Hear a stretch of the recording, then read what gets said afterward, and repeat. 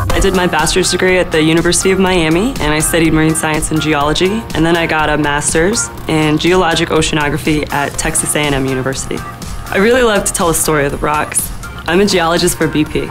I integrate subsurface data and use it to make decisions on where we can find oil and gas, from anywhere like the Gulf of Mexico to Australia to the Middle East to onshore North America. My schedule is really unique in that I work a triple 14. I work for 14 days in the Houston office, and then I work for 14 days in southwest Wyoming, where we actually drill. We have three active rigs right now, and then I have 14 days off. I work with two totally different teams depending on which office I'm at. When I'm in Houston, I work with a really integrated team of reservoir engineers, completions engineers, and drilling engineers, as well as other geoscientists from people that do seismic interpretation to reservoir management. When I'm in Wyoming, I work with well site leaders, mud engineers, drillers, and the support staff in the operations center located in Wyoming.